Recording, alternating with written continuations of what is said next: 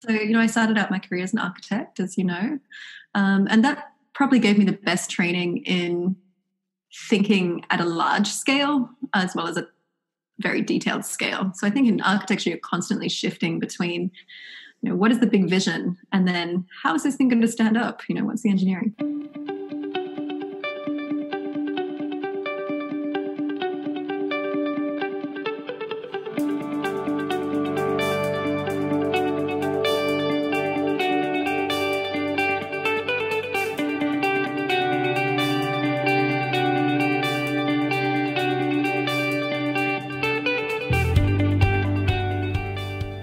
You're listening to the School of Innovation.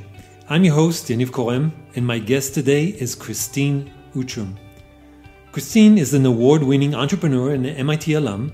She is the CEO of Everydae, a digital tutor for high school students that makes learning bite sized and fun. Before Everydae, Christine was the Chief Product Officer at Veritas Prep. It was there that Christine incubated and launched an education app that would not only predict what students needed to learn, but would also create a custom study plan that maximized progress in the minimum amount of time. Before Veritas Prep, Christine led the product and design team at the Los Angeles based startup DogVacay. Before that, she was the director of invention at the advertising agency Deutsch, where she was also named one of the top 36 most creative women by Business Insider. Christine is best known for inventing the Copenhagen Wheel, a Time magazine best invention. Check the show notes for more information about the Copenhagen Wheel or just Google it. Here's my conversation with Christine. Hi. Hey, Christine. How are you? I'm not I'm sure not, how to answer that anymore. I'm not either. Yeah. Yeah. Um, Where are you, by the way? Where are you? Like, yeah, Los Angeles. In LA. Okay. Yeah. So I've been here pretty much since I left MIT. So 2010, moved here permanently. Wow. So 10 years. I don't know. I feel lucky to be in LA where there's a lot of blue skies and, yeah. you know, things feel, even though it's quiet and weird and, you know, it still is a nice place to live. So yeah. Do you guys? See, we're not on full lockdown yet, but they've closed down all of the hiking trails and all the parks and everything. Obviously, closed all of the non-essential um, uh, businesses as well. But, yeah. Yeah. So, so tell me a little bit about Everydae. Like, do you guys like? Let's start with the obvious because of the situation. Do you guys have an office? Are you like, you know, on Zoom the whole day, or like? None of us are there, but we do have an office. we're all working from home right now, and it's it's really been an interesting time in the business mm. because you know we're in online we're in the online learning space, which yeah. I'm incredibly grateful for right now. Um, and as schools close, we're having a bunch of people transition to online learning. Mm. Um, just to tell you what we do, we're a digital tutor for high school students, mm-hmm. uh, starting with standardized exams. So the whole idea is that most online learning is actually a total grind and kids don't really want to use it. Um, so we started looking into how can we make an online learning platform that's fun to use and feels a little bit more like duolingo if you know duolingo the language program. Mm-hmm. think about that but for your high school classes. Mm. as people are more engaged then their academic aptitude goes up and then that creates a nice little virtual virtuous loop um, where then they're more engaged. So yeah. yeah. I think I think the clue is like in the name, like standardized, right? It's like when you hear that word, it it doesn't it doesn't sound fun. It sounds like you know, right? like like a, like it's standardized. So I guess it's a sort of a framing, right? We're going to talk a lot about psychology, I guess. Uh, yeah. It's like framing the experience. We're going to standardize you, right? and so yeah I, i'm assuming it's not fun. So okay. So you guys are doing that. And how did you how did you get into that? Like yeah. i know you from mit what the, connect the dots for me please. Sure. So i think the two threads in my career have been always design and technology. Um, mm-hmm. so you know i started out my career as an architect as you know. Um, and that probably gave me the best training in thinking at a large scale as well as a very detailed scale. So I think in architecture, you're constantly shifting between, you know, what is the big vision, and then how is this thing going to stand up? You know, what's the engineering? Mm-hmm. Um, and so that that kind of trained me pretty well. And you know, at MIT, it was just further exploration of those two ideas, design and technology, and how we can combine those two things to help people. Um, I spent a few years after that consulting and working with large scale government organizations as well as some private companies around what they could do with their big data and how they could harness that to build products and services that mm. could help the world. Um, so, yeah, I did that for a few years. Then stumbled into a job as the director of invention at an advertising agency, huh. which was completely different. Um, I remember but, that inventionist, right? Yeah, exactly. Yeah. So, you know, the whole thing there was traditional advertising, TV, radio, and print is really just a, you know, one way mechanism where we tell you about ourselves. Mm-hmm. But the goal with the invention department was that we create apps and products and services and websites that can have a much stronger relationship between uh, the company and, and, the customer. So I'll give you an mm-hmm. example. Um, we worked with a company called Esurance, so an insurance company. Yep. And we built a little gas price predictor for them where you could find the gas station that has the cheapest gas near you. Cool. Um, it doesn't kind of, that doesn't feel like an ad. It more feels like a utility. Yeah. Uh, but what it did is it really helped solidify their relationship with their customers and mm. solidify their position as you know a helpful company that really wants you to that looks after you and wants you to do well. You um, provides so, you with value. Yeah, provides you with value.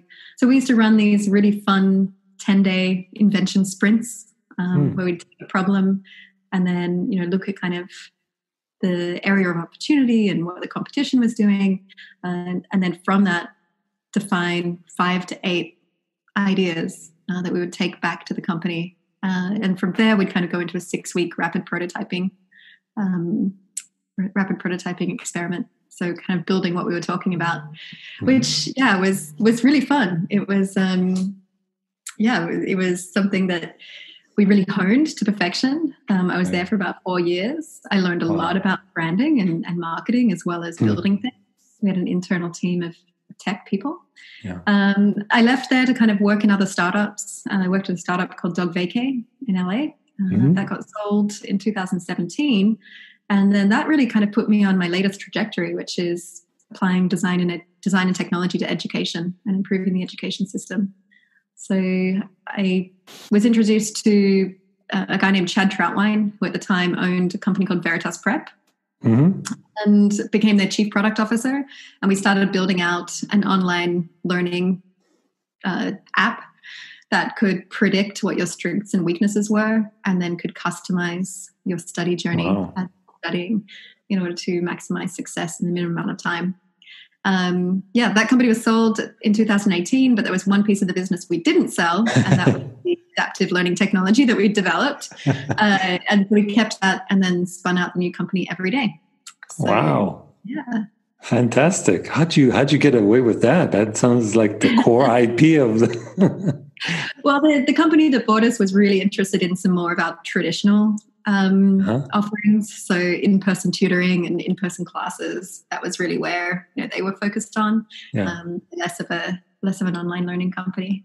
Yeah. Gotcha. Gotcha. I want to go back for a second to to inventionists because uh, I'm I'm looking a lot at um, you know with all this remote work stuff. I'm looking a lot at these uh, remote sprints. Yeah. Um, or you know design sprints done or conducted remotely. And so I'm curious. Like you said, you guys were running these sprints. Uh, but were you doing it with the client or by yourself, coming up with these ideas and then pitching them to the to the client? Just no, curious. it was a collaborative process, um, yeah. but in certain areas. So basically, what we would do first is we'd have a call with the client and we'd talk to them about their goals and you know what the brief was mm-hmm. and then we'd also talk to them about what they'd tried in the past um, you know what, what success looked like um, you know what kind of things that they wanted to do their desires from there, we would take that and kind of look into the competitive landscape, um, some of the, the strategy, and we'd architect kind of a brainstorm session. Mm-hmm. So we'd get to come back with the client to do the brainstorm session together. And from that, you know, we'd end up with between 20 and 50 thought starters. It was really important to do that with the client because right you know, it helped them feel involved and engaged. And it meant that when we came back with ideas, you know, some of them would be theirs. And so that was kind of great. Right. Um, that was kind of probably day three or four of, of the 10 day sprint. We would do that brainstorm. Then we pretty much had, you know, from day five to 10 to put those ideas through their paces. And we had kind of a ranking system about how well they matched with the, the goals of the mm-hmm. project. Um, and you know how original they were, how shareable they were. Uh, and you know we would mock up screens and basically create a presentations that on day 10 we could come back to them wow. with some ideas. Yeah. Wow. That sounds awesome. Um, i want sorry? It's definitely fun. it's fun. Yeah it sounds like a lot of fun. I think branding that whole space branding positioning marketing i'm not an expert on any of those. Um, but I've always been super, and I guess you know it's it's kind of because it's a it's a lot about human behavior, right? It's about like yeah. trying to figure out the psychology of the audience or that target audience, and then the mass audience and all that stuff. And I think I've always been attracted to that. Yeah, and I think it was something I knew relatively little about. You know, I was always mm. a builder and a maker, and I would I would think about designing things, but I never really get to think about how to, um, how, you know, will people love this? Will they buy it? Why would they buy it? What is that psychology? And so for me, it was wonderful for four years to not only be thinking about building things, but also be thinking about will it actually exist in the world? Like it's not just build it and they will come. It's like yes. build it, you know, build it and also architect it so that you're aligned with what people want. Exactly. um, and more success, which actually has been great going back into kind of startups and things as well, having having those tools. Great. Great. So our training as architects, and I think it just became super obvious at MIT, um, is very applicable to a lot of different disciplines that are not necessarily architecture. Like you come out of architecture school and you don't know how to design a building, but you have a lot of skills that are great for other disciplines, but you never get to use them because you're always fixed on I gotta I gotta build, I gotta design buildings, right? I don't know if you saw this this movie. It's an old movie called uh, Cool Runnings. Oh yeah, I remember that. Yeah. Yeah, about a Jamaican bobsledding team. Yep. So the premise here is that architects will make the best entrepreneurs in the world. They just don't know it yet, right? Because they've got all the skills. And you are an example of that. So I'm curious to hear your thoughts. Like, yeah, yeah, I, I definitely think it provides you with really good training. Um, as I said before, you know, a lot of what an entrepreneur does is zoom out into kind of the big vision, big picture thinking, but then zoom in all the way to the details as well. And you're constantly kind of switching. And I think architecture is the perfect training for that. Um, the thing with architecture for me, though, is that it takes too long to get anything done. this is why I left. Honestly, it's why I left. Um, yes. You know, too long to build a building, and once it's built, you can't change it. you know, you're pretty much you have. That's and hopefully, you'll build something else that's similar, and you can take you know what you learned there and apply it to the new building. But really, it's a very slow process of of you know kind of iteration and improvement.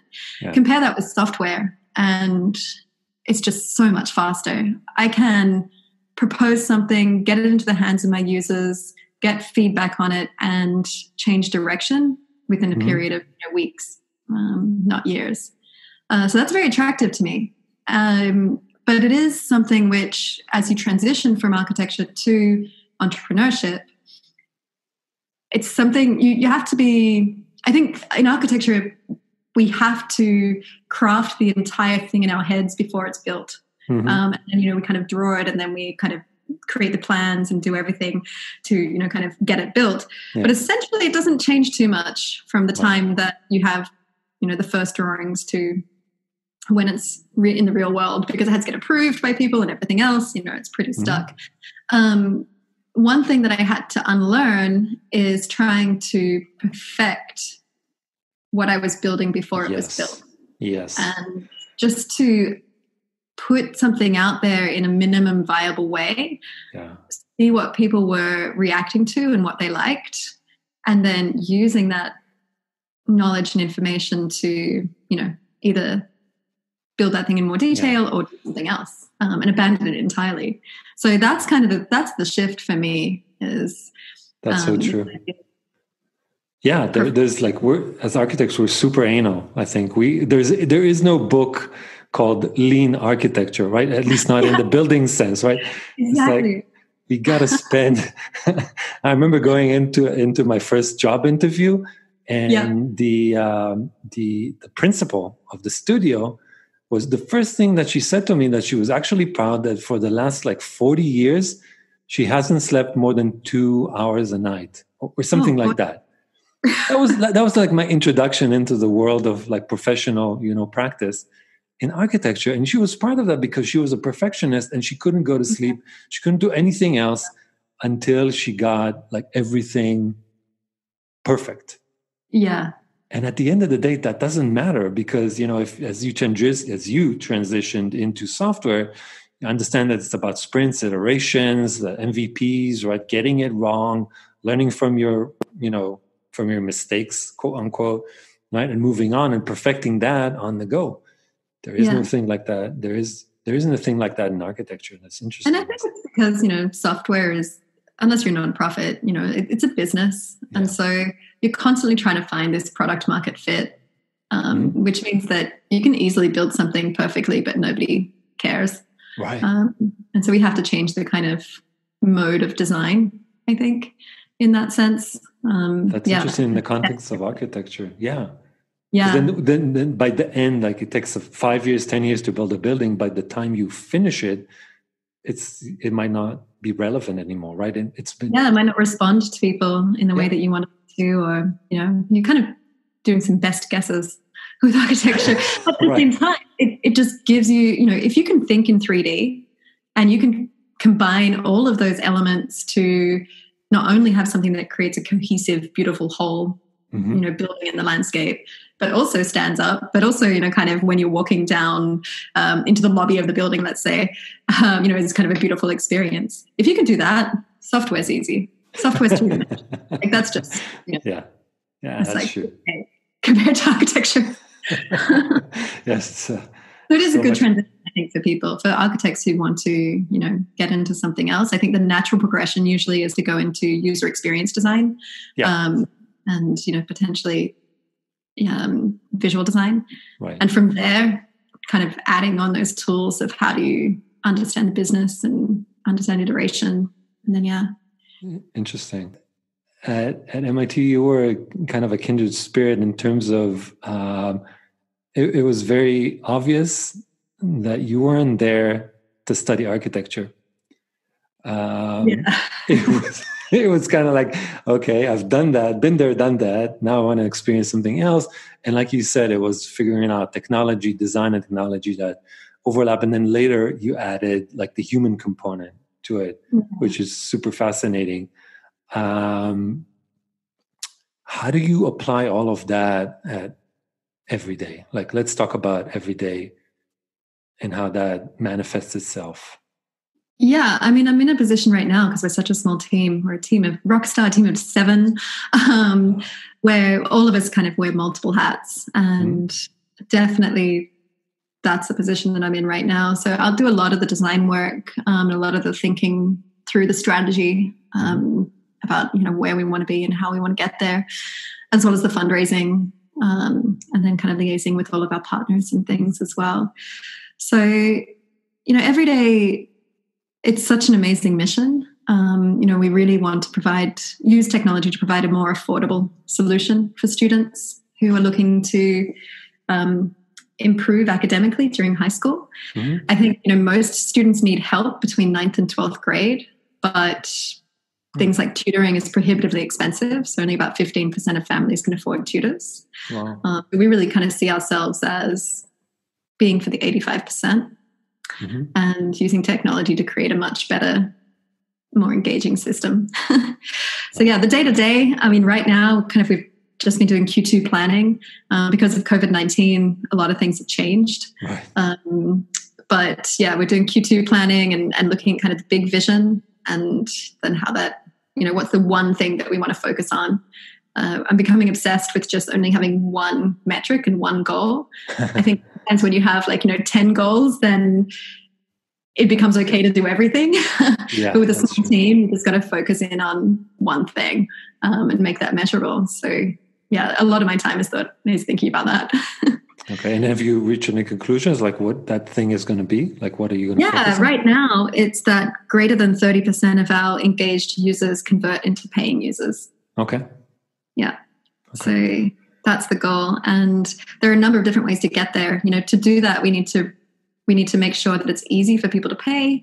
Uh, we need to make sure that we remove any roadblocks to payment we right. need to also make an engaging product that people want to pay for you know why would they pay um, so and all of the questions that we have we then go back to our our students and our parents and we talk mm. to them so the process really is define the goal talk mm-hmm. to the people who are using the product, gather the information, see the trends, and then make an educated decision that will not only serve our students but also serves our business and helps us achieve the goal. Hmm. Interesting. So, how, how do you have those conversations? I mean, is it like just face to face, or now it's not face to face, but like over Zoom or something? And how do you, I'm curious, like, how do you approach that conversation? How do you ask them the questions without asking them the questions? Yeah, that's a great question because when you ask people things, they'll try and please you. Just right. Um, so there's definitely an art to it. So right now, there's two ways that we're gathering information. Um, we have intercom in our product, so you know, kind mm-hmm. of it's a live chat, and we ask people through that. So we we triggered certain questions. For instance, on your tenth session, we might be like, "Hey, you know, this mm-hmm. is your 10th session and how do you feel about Everydae Do you want to provide some quick feedback and students are you know fantastic about that um, the other thing we do is we just reach out and say, "Do you want to help us? You know, build the future of this?" And people get very excited when you ask them to engage. and then mm. the way that we talk to them is we say things like instead of saying, "Oh, what do you like about us?" we say, "How would you, if you were talking to a friend right now, how would mm-hmm. you describe Everydae?" Right. So, um, sort of, uh, yeah Sort of get yeah. them removed from the right yeah i get them removed from just oh what what should i say to please them? But like oh yeah how would i describe it? Well i describe it like this. And subconsciously that helps us helps mm-hmm. them kind of um, self-define what they think is interesting about the product without right. having to say that. Uh, and then when it comes to there's a whole bunch of techniques around pricing and things as well. Like for instance you never ask how much would you pay for this? Um, you would more ask, at what point do you think that Everydae would be too expensive for you? You know, at what price point? Mm-hmm. Right. And then follow it up with, you know, at what price point do you think um, it, it would seem too cheap or not high enough quality? Yeah. Because you don't want to anchor, right? You know, exactly. you don't want to anchor the pricing. Yeah. Yeah. Yeah. That's exactly right. Um, yeah. Then the other thing that I'm kind of obsessed with right now is the product market fit survey. Um, mm-hmm. So this is really an indicator of whether people are, you know, whether they like what you're doing and So the way that works is that you say, if you could no longer use Everydae tomorrow, um, how would you feel? Mm. And there's three options: very disappointed, somewhat disappointed, and not disappointed at all. Wow. So the not disappointed at all. Okay, you can't really do much about those people. They just don't like your product, and maybe yeah. it's not for them. But the goal is to then move the somewhat disappointed people into the very disappointed if they could never use it again. Uh, and so okay. we segment our users based on the people who are in that group, the somewhat disappointed, because we figure that those are the people who will actually tell us mm. exactly what they would be looking for mm. in order to because they still care. Yeah. Yeah, because they still care. Yeah, they're like, this, you know, I'd be somewhat disappointed, but it could it could improve, right? Yeah. So yeah. Um, Interesting. indicator. And in general, you want about 40% or above of your users to be very disappointed. Uh, if you have that, if you do, it is great, and you found product fit. So wow, yeah. wow. Yeah. I'm I'm just thinking about the emotional aspect of it, like you know, someone giving me that kind of criticism, right? Or not criticism, but like honest feedback about something that I created, right? So it's uh, you know how, how, do you deal with that? Like someone says, "I'm I'm disappointed." I'm I'm, so, I'm, such a perfection perfectionist. No one saying they're disappointed. No, that's not true. Um, there are definitely people saying that they wouldn't care if Everydae went away, um, mm, and right. we you know, we need to kind of do more work talking to those people. Right now, we're really focused on those people who are somewhat disappointed. Um, but my guess is, you know, you can't build a product for everyone either, and that's mm-hmm. okay. Mm-hmm. Right. We are we're an online learning product that is not, you know, if, if you really need remedial help from the very beginning of algebra, we're not mm-hmm. for you. Mm-hmm. you know, we're not kind of at the very low end. We're more at kind of the middle part of the curve. Like, okay, okay cool. You know, you probably have some decent foundations, but you need to improve. Right. Um, so you could imagine that somebody who's at who's really struggling with even the basics Mm-hmm. Um, they're going to be like, I wouldn't care if I could no longer use this because it's just not for them. Yeah. Um, so yeah, it doesn't worry me too much when we see that. I'm more worried about the people who, you know, somewhat disappointed or on the fence. Yeah, exactly. I'm like, what can I do for you? but yeah, again, like it's like you said, you cannot please everyone, and I think that's a really smart observation and connects to so many like stuff that I've been reading lately um, there's this guy, or actually two guys, but this guy called Philip Morgan who talks about specialization for consultants.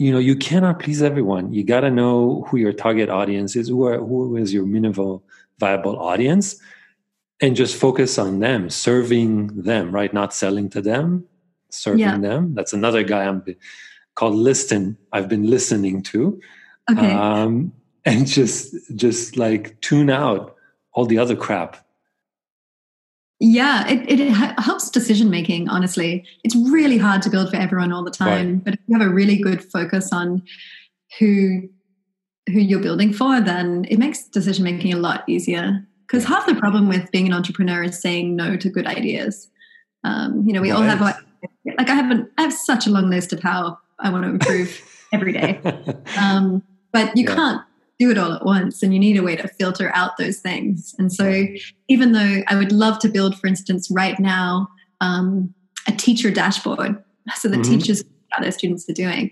um, it's not it's just not our focus right now. It's better to have a hundred people that love your product than a thousand people that are like meh. Yeah. on the fence yeah right? Yeah on the fence exactly. If you can like find slightly disappointed. you can really build something just for them then you can expand out from that. You know, it's almost like you're on one lily pad and you, you know, build the perfect thing for that lily pad. And then you jump to another lily pad and, you know, build the, that. Yeah. Exactly. Exactly. Um, let's dive into Everydae because I was looking at the website and I saw so many of the um, ideas and concepts that I really like in terms of like, you know, psychology, uh, behavioral economics, and that sort of thing. So I want to know more about ELBs. What the hell are ELBs?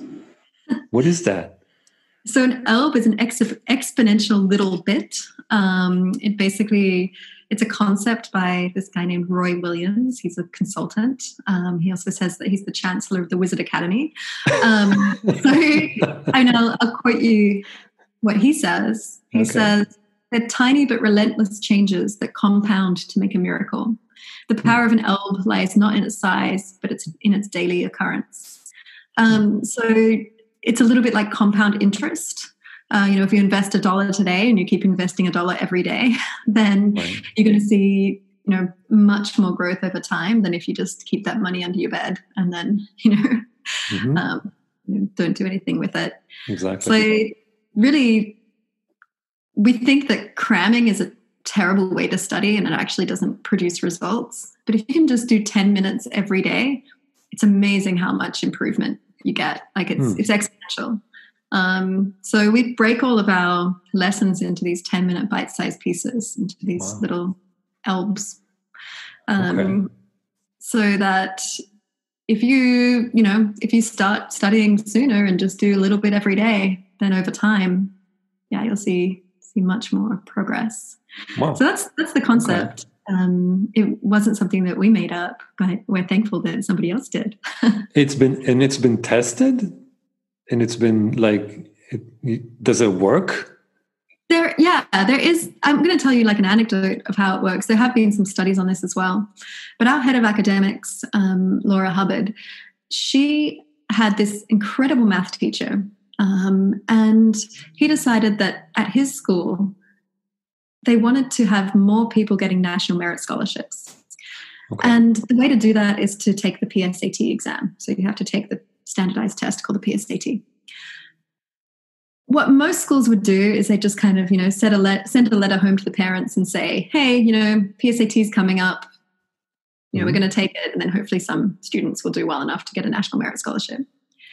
What her teacher did is that after every single math test, he also gave them a section of the PSAT, starting from a much younger age. So, for mm. a hmm. couple of years before you actually had to take the PSAT, he was exposing them to it in small bites through that wow. time. Interesting. What that resulted in is that they had double the number of national merit schools, merit scholars of their rival school, and you know proportionally many, many more merit, merit scholars than you know your average school. Mm-hmm. So that that kind of was part of the insight for the product. I think it was Laura's experience in how you can introduce people to concepts um, in small bites, and mm-hmm. that over time that will add up to much more understanding and um, you wow. know kind of comprehension. That's that's that's an incredible story. I mean, that's yeah. it's a it's a genius approach. Um, wow. Okay. Okay, I always have this kind of tension with my kids where I think the schools teach them or prep them to cram because it's like it's like this you know it's like the challenge with productivity. It's like busy work right? Yeah. Where you always have to like feel like you're learning but in reality you can just you know break that whole big chunk of learning into smaller bites and then just it's it's more manageable. It's easier to get through right? But they feel right. like if they do that they haven't really studied right? If they haven't put like the whole hour or two hours or three hours into it yeah. they haven't studied. Yeah that's fair enough. I mean we have a couple of things that um, help them understand progress because i think that's mm-hmm. really important for students as well. Uh, so we have something called the readiness score which basically is our way to predict how well you're going to do on exam day. Um, and so even after doing kind of a few challenges, your few 10 minute lessons, we call them challenges, um, then you can see your readiness score increase. Um, I will say also though that while we would love everybody to start six months before their exam, mm. it's not the behavior right now. Uh, so they're still cramming. Motivated, yeah. The students who cram, you know, we can kind of give them an estimation of how often how much they need to study each day but it will increase to you know 30 minutes a day or something like that if you're the closer you are to your exam. Yeah. It's it's dif- it's difficult to i guess to plan these things ahead. And i think we're all also it's like it goes back to dan ariely's work about you know procrastination where uh-huh. you don't get that immediate reward that that immediate feedback. And so it's it's difficult to save long term right? Like put away money every day because you don't see the end result. Yeah. Um, how do you guys solve for that? Like, I mean, if if you adopt this this concept of ELBs, right? Uh, mm-hmm. Uh, these like atomic units of, of learning, then how do you build the routine or, or build the habits to to stick with that so you see the the long term results? Yeah, so we have, you know, so each of these 10 minute micro lessons or 10 minute challenges, um, it kind of feels like a game. So, you know, you kind of get your results after each one. So there's a little bit of a dopamine hit. Right. Then we have a concept of coins as well. So you get a certain number of coins if you get something right. And you also get coins for trying as well, um, with the idea that you'll be able to convert those coins into gift cards over time. Um, mm. Not we've launched yet, but something we're excited about. And then really a lot of it's just about reminding students too. So we have text message reminders that go out to students to be like, hey, you know, there's a new challenge. Come do it. or we did two challenges yesterday. Maybe you could try and do three today. Um, right. So kind of building on their existing habits. Mm-hmm. Uh, and then that goes out to parents as well, because there's this really positive potential correlation between parents and students and that driving engagement. So we can say, we can send a text message to the parent and say, hey, you know, Daniel did um, 10 challenges this week. Let him know that he's doing a good job. Um, and that type of positive reinforcement also has great right. spin off effects. Um, so those are some of the ways that we get people into the habit and get them kind of feeling good about studying. Mm-hmm. I think the big thing, though, that's under the hood that we're working on is all about adaptivity. Okay. So the goal is that I can serve you content or questions that you have a 70% likelihood of getting right. Because 70% is just hard enough to stretch you. Mm-hmm. It's not so hard that you want to quit. Okay. So it's almost like this, this sweet spot. And when students feel like they can succeed at something, they actually keep going. Um, and it allows us also, as they keep on hmm. succeeding, mm. to keep on increasing what they're seeing, the, the, difficulty of what they're seeing, so that they're getting better and better and better. Instead of what most online learning tools do, which is, hey, here is your course. It's broken into 12 units. Mm-hmm. Go for it. and it's, it's just like linear. It's like, okay, start with, you know, unit one, and then if you find that too hard, oh well. like, Screwed. Yeah. it's because we're tracking how you're doing. If we see that it's too hard and you're getting this type of skill wrong all the time, we can actually then change your study journey so that we serve you up something that you know is more foundational or more basic. Um, mm-hmm. So it's really about that adaptivity, which I think will help increase engagement over the long term as well.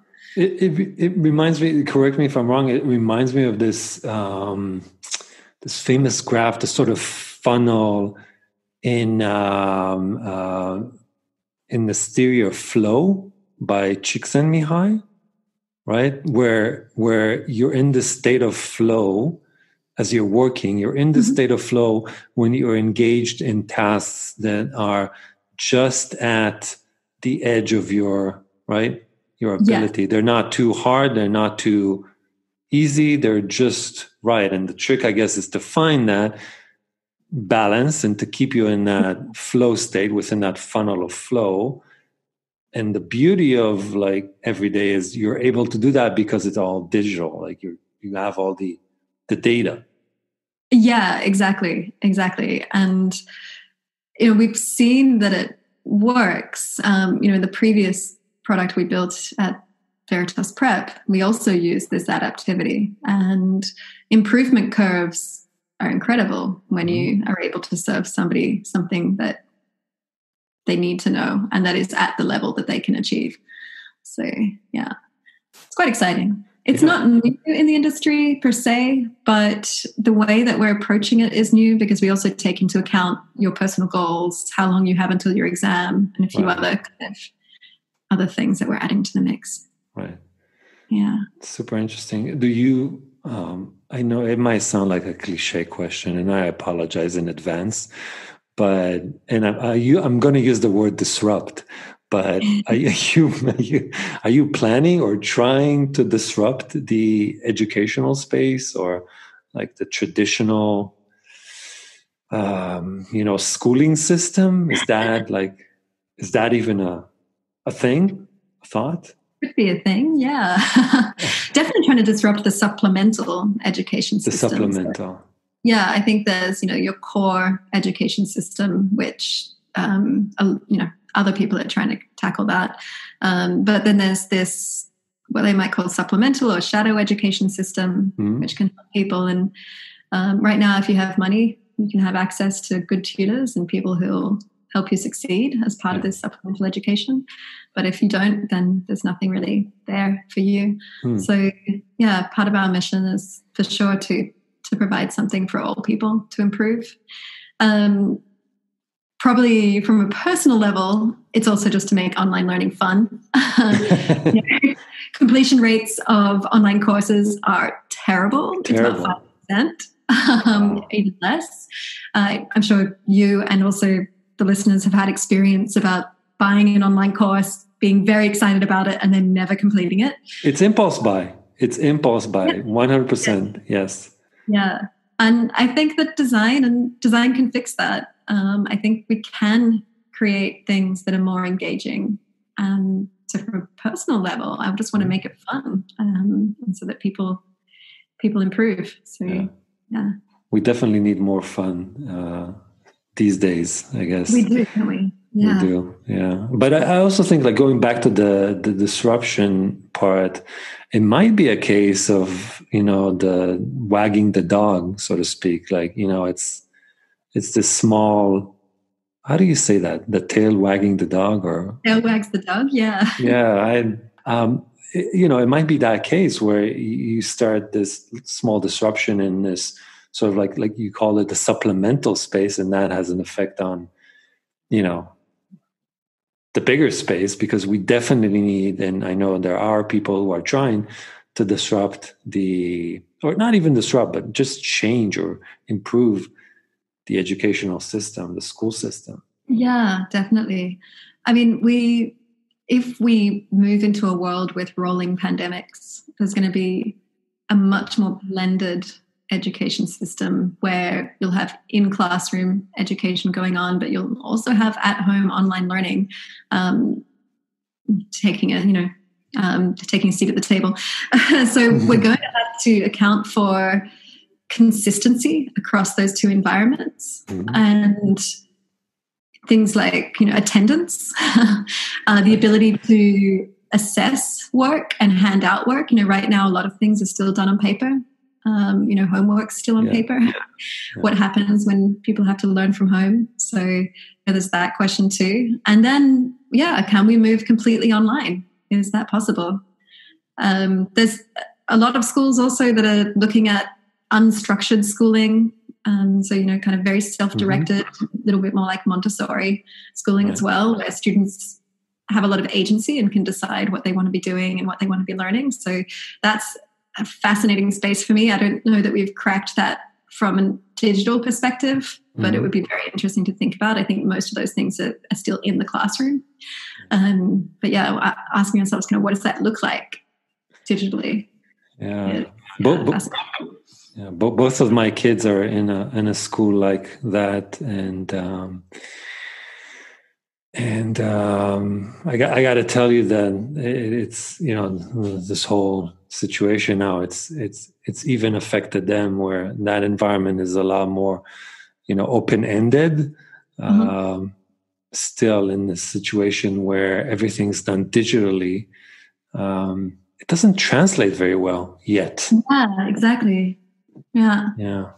It, and i keep like, wondering that like you know virtual reality has a role to play here or something like that um, I don't know. I, I sat in I sat in on their organizing Zoom calls and I sat in on a couple of their Zoom calls and it's a madhouse. It's it's not a Zoom call, it's a zoo call. It's like it, it's insane, right? It's like you can focus and concentrate for a second. So yeah, I don't know. I don't know. Maybe virtual reality. Yeah.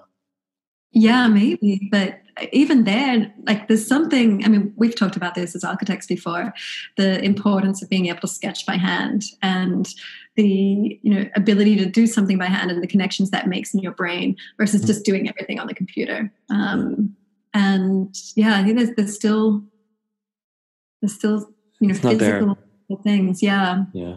Still not there. And we have, um, you know, an access problem as well. You know, that's a big thing that's happening in the US right now is not all students have access to the internet or hmm. computer at home. That's um, right. Which has forced some districts to just shut down entirely because if they can't provide education to some children, then yeah, it's hmm. unfair. So yeah, there's going to be a lot we're going to tackle in this new world. Pandemic, pandemics. well, you're right there, right at the at the forefront of that. So I'm, I'm, i think we're good hands. Um, How can people learn more about Everydae? So they can go to everydae.com, and that's spelt everyday D A E um, at the end. And then, yeah, they they can either sign up to start using the product or mm-hmm. learn a little bit more about us.